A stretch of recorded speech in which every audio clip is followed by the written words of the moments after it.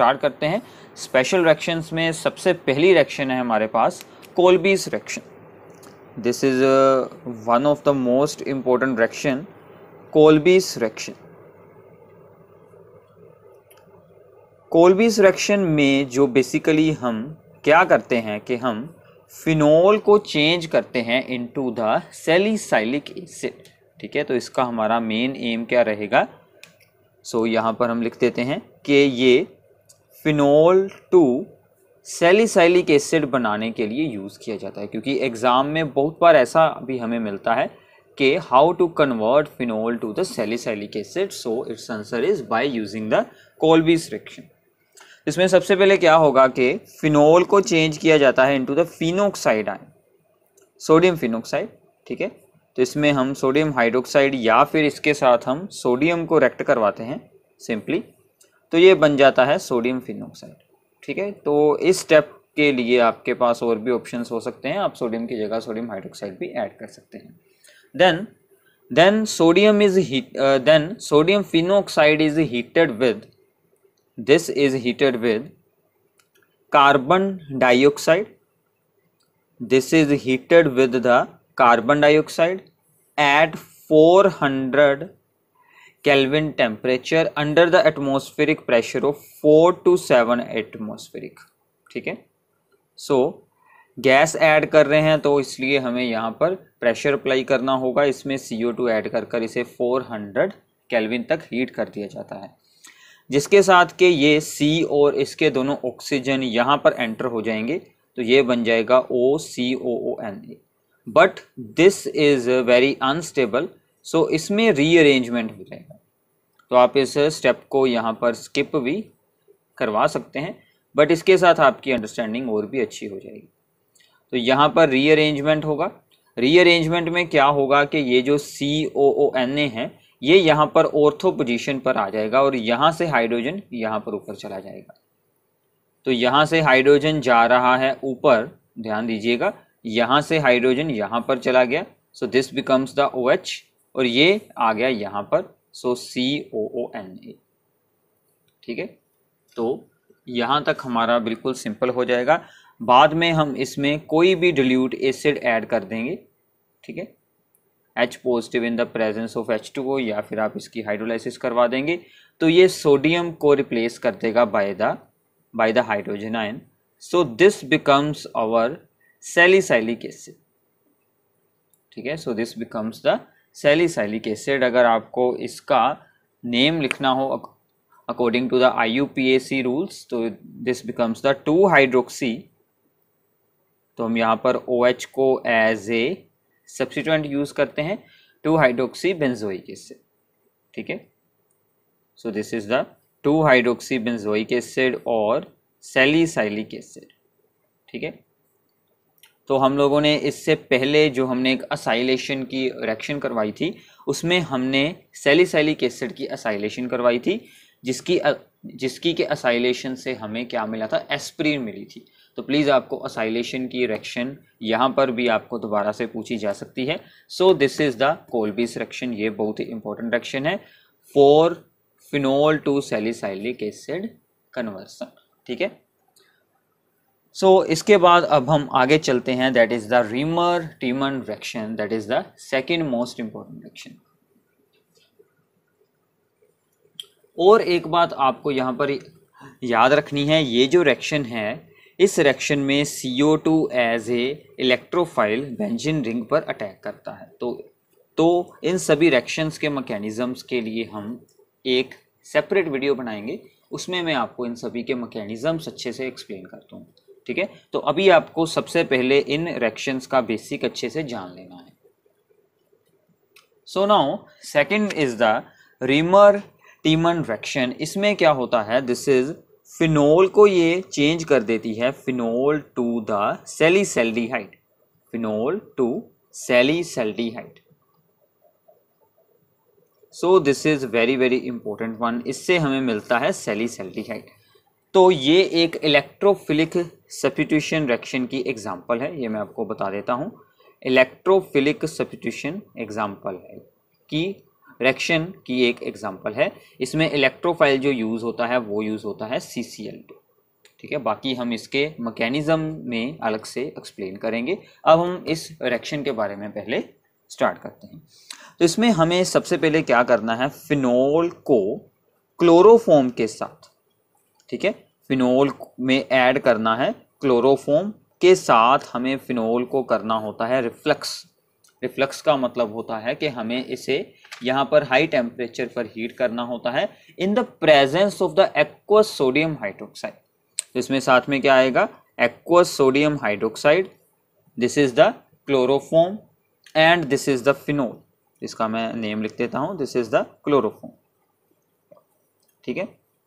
और इसको हमने करना है रिफ्लक्स सो इसे करना पड़ेगा heat at the 340 forty kelvin अब यहाँ से क्या होगा, ठीक है? यहाँ पर H रिप्लेस हो जाएगा विद Na,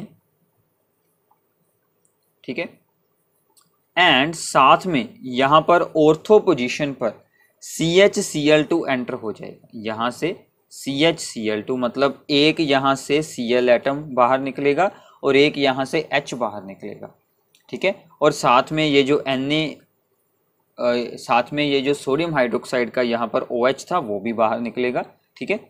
और एक हाइड्रोजन यहाँ से भी बाहर निकलेगा। तो क्या क्या बाहर आ रहा है? वन और टू दो हाइड्रोजन एक सी और एक ओ OH सो इन सभी से एक एच टू बाहर निकला और एक हुआ यहाँ माइनस एच सी तो ये दोनों प्रोडक्ट्स यहाँ से बाहर निकले हैं। नाउ इसके ऊपर फिर से सोडियम हाइड्रोक्साइड का अटैक होगा। इसी के बीच ये स्पेसिस जो है, ये लेवल बिल्कुल नहीं रहेगी। तो क्या होगा, ये दोनों C L group O OH के साथ यहाँ पर रिप्लेस हो जाएँगे। ठीक है? तो ये कुछ स्टेप्स हैं जो आप लोग अगर आपको डायरेक्ट रिएक्शन कहीं पर भी एक्सप्लेन करने को मिलती है तो आप इन्हें स्किप भी एक कर सकते हैं। तो यहाँ पर क्या हुआ कि सी एल की जगह पर O H out to attach हो जाएगा। नाउ अब हमने ये बात अल्कोहल फिनोल्स में स्टार्टिंग में रीड की थी कि सेम कार्बन पर अगर दो ओ एच ग्रुप होंगे तो वो चीज़ बिल्कुल अनस्टेबल होती है। वो अपने में से एक वाटर के मोलिक्यूल को रिलीज़ कर देती है और यहाँ पर एल्डिहाइडिक ग्रुप बन जाता है, ठीक है? तो यहाँ पर क्या होगा? यहाँ से एक वाटर मोलिक्यूल बाहर निकल जाएगा बिकॉज़ दिस इज़ अनस्टेबल ठीक है? ये स्पीसीज होती है स्टेबल यहाँ से एच टू H2O बाहर निकला और ओनली क्या बच जाएगा? सी एच सो ऐसे हमें यहाँ पर अपटेन होगा। हमने यहाँ पर एक हाँ यहाँ पर हमारा Na था अभी, ठीक है? यहाँ पर एन ऐसे ही रहेगा। ये जो सोडियम है, ये यहाँ पर एज इट इज़ रहेगा। इसे हमें लास्ट स्टेप में फिर से रिप्लेस करना पड़ेगा। तो लास्ट स्टेप में हम फिर से इसको किसी भी डिल्यूट एसिड के साथ रेक्ट करवाएँगे। तो यहाँ से ये जो एन ए है वो रिप्लेस हो जाएगा विद एच तो हमारा यहाँ पर एंड प्रोडक्ट क्या बनेगा? यहाँ पर सेली सेली है। यहाँ पर क्या था? सोडियम सेली सेली है। ठीक है? तो हमें यहाँ पर हमारा जो फाइनल प्रोडक्ट मिल जाएगा दैट इज़ द सेली सेली है। ठीक है? तो ऐसे आपको इन सभी स्टेप्स को याद रखना है। अगर आप इस रिएक्शन को इन शॉर्ट एक्सप्लेन करना चाहते हैं तो आप इस स्टेप से डायरेक्ट इन दोनों को स्किप कर कर सीधा ये आंसर उतार सकते हैं। क्योंकि पहले ये बनता है, ये, फिर से एन एच इसी के साथ ही रेक्ट होकर ये इसमें आता है, वो अनस्टेबल होती है तो आप इन सभी स्टेप्स को यहाँ पर स्किप कर सकते हैं और आप इसे डायरेक्टली यहाँ से एक्सप्लेन कर सकते हैं इस स्टेप को। अगर आपको ये सिर्फ़ इतनी रिएक्शन आती है पेपर में कि कन्वर्ट फिनोल टू सेलिसल्डिहाइड तो आप एक स्टेप ये और दूसरा स्टेप ये, सिर्फ़ इतना भी अगर वहाँ पर बता देंगे तो भी आपकी रिएक्शन को सही माना जाएगा, ठीक है? तो इस बात का आप लोगों को ध्यान रखना है। This is the Reimer Tiemann reaction that is very very important तो इसमें क्या होता है कि बेसिकली हमारे पास जो वहाँ पर ऑर्थो प्रोडक्ट ही बनते हैं but with small amount of the para product ठीक है? कुछ यहाँ पर पैरा प्रोडक्ट्स का भी अमाउंट बनता है और इसमें इलेक्ट्रोफाइल बनता है सी सी एल टू क्योंकि बहुत सारे एग्ज़ाम्स में एम सी क्यू में इलेक्ट्रोफाइल का नेम ही सिर्फ़ पूछ लिया जाता है so that is the C C L two electrophilic substitution reaction है मैकेनिज्म आपको एक अलग वीडियो में मिल जाएगा। आगे करते हैं third reaction that is also important one coupling reaction हम इस रिएक्शन में फिनोल की रिएक्शन होती है विद बेंजीन डाइजोनियम क्लोराइड दोनों के सोल्यूशन आइस कोल्ड रहते हैं एंड इन अल्केलाइन मीडियम ठीक है तो क्या क्या हमारी यहाँ पर कंडीशंस रहेंगी? आइस कोल्ड सोल्यूशंस होने चाहिए। ठीक है? सो इस रिएक्शन का एक्सपेरिमेंट भी आप लोगों का ज़रूर होता है। ठीक है? क्लासरूम में। तो आइस कोल्ड दोनों के सोल्यूशन होने चाहिए और साथ में हमें अल्के लाइन मीडियम चाहिए, ठीक है? यानी कि हमें बेसिक मीडियम रखना पड़ेगा और आइस कोल्ड सोल्यूशन में होता है, इसमें हम डाई फॉर्मेशन करते हैं। इस रिएक्शन को एनिलीन एंड फिनोल की डिटेक्शन के लिए यूज़ किया जाता है। होता क्या है कि सबसे पहले हमें बेंजीन डाइजोनियम क्लोराइड बनाना होता है, जो कि एनिलीन से बनता है। इसे बनाने के बाद this is the benzene diazonium chloride आप लोगों ने पहले भी इसे यूज़ किया है पिछले चैप्टर में, ठीक है? इसके साथ रिएक्शन होती है फिनोल की, ठीक है? तो ये हम फिनोल रिंग को इस तरह से बना रहे हैं ताकि रिएक्शन हमें यहाँ पर अटैचमेंट करनी इजी हो जाए। अब देखिए, यहाँ पर एक हाइड्रोजन होता है तो मैं इस बार उसे भी बना रहा हूँ, क्योंकि वो यूज़ होने वाला है, ठीक है? So alkaline and ice cold medium alkaline medium and ice cold ice cold रखना बहुत ही इंपॉर्टेंट होता है। Approximately zero to five degree Celsius में इन्हें रखना पड़ता है। तो क्या होगा, यहाँ से सी और ये हाइड्रोजन बाहर निकल जाएँगे और ये N2 इस रिंग के साथ जुड़ जाएगा। दोनों रिंग्स आपस में अटैच हो जाती हैं therefore it is called the coupling reaction ठीक है? तो यहाँ पर एन एन में डबल बॉन्ड होता है और साथ में इस तरफ़ आपका ओ OH ग्रुप ऐसे ही जुड़ा रहता है। एंड साथ में आपका जो दूसरा प्रोडक्ट बनता है एच सी सो ये यहाँ पर अलग रहेगा। इसका नाम हम लिखते हैं पैरा हाइड्रोक्सी पैरा पोजिशन पर हाइड्रोक्सी है। और बाकी हमारी क्या यहाँ पर बनेगी? एजोबेंजिन पैरा हाइड्रोक्सी एजोबेंजिन ठीक है? एजो इसके लिए यूज़ किया जाता है azobenzene this is also called in short azo type ये डाइज बनती है मतलब इनके स्पेसिफिक रंग होते हैं, ठीक है? ऑरेंज रेडिश ऐसे इनके डिफरेंट डिफरेंट हो सकते हैं कलर तो आप इन रिएक्शंस को लैब में भी बनाकर देख सकते हैं। बहुत ही हमारे लिए इंटरेस्टिंग एक एक्सपेरिमेंट बन जाता है ये, ठीक है? तो जब आपके स्कूल्स ओपन होंगे तो वहाँ पर आपको ये सभी एक्सपेरिमेंट्स देखने को ज़रूर मिलेंगे।